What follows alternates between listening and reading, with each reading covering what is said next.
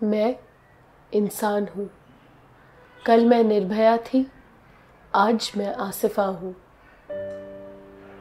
कभी मुझे कोख में मार दिया, कभी पैदा होते ही कुचल दिया, कभी मेरा बचपन मुझसे छीन लिया, कभी मेरी जवानी को अपनी हवस का शिकार बना दिया, कभी दहेज के नाम पर मुझे जला दिया तो कभी अपने ही घर में नौकर सा बना दिया।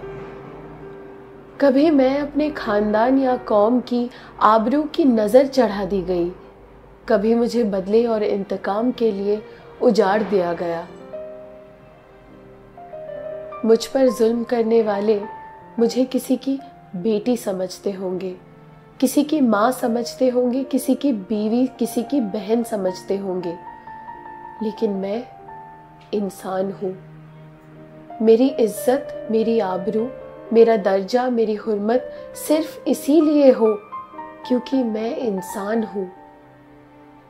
मैं इंसान ही हूँ। कल मैं निर्भया थी। आज मैं आसिफा हूँ। मेरा गुनाह क्या है? क्या ये कि मैं एक खास कम्युनिटी से ताल्लुक रखती हूँ?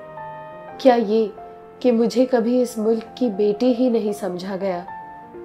क्या ये कि मेरा नाम आसिफा है? मैं तो बस आठ साल की थी। घोड़ों को चराने के लिए घर से निकली थी।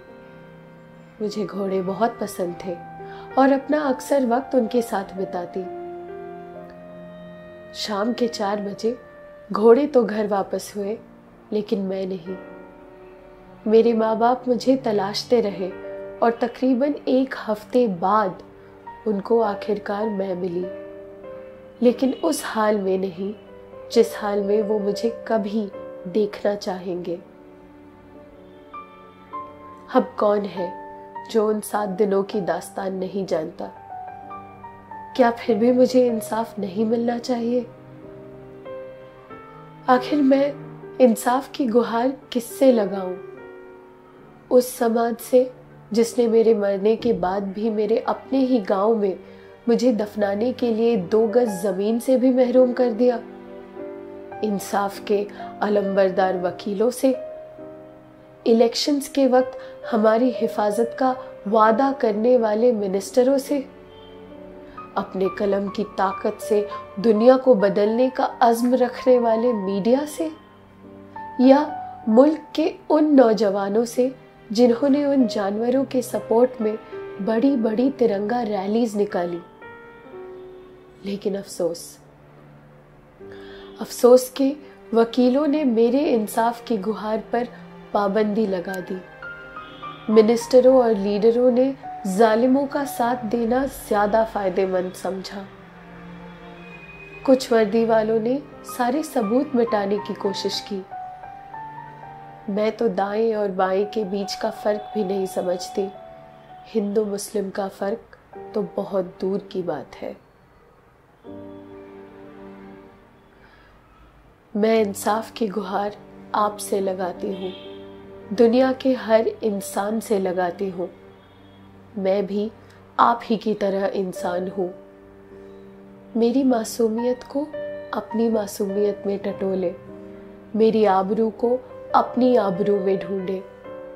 मेरे ख्वाबों को अपने ख्वाबों में देखे। मेरी हुर्मत को अपनी हुर्मत में तलाश करे। मुझे भी अपने जैसा इंसान समझे। आप में से जिन लोगों ने मेरे लिए आवाज़ उठाई है, उनको मेरा सलाम। जो क्षमा आपने जलाई है, उसको जलाए रखे। जो जज्बा आपने दिखाया है, उसको बनाए रखे।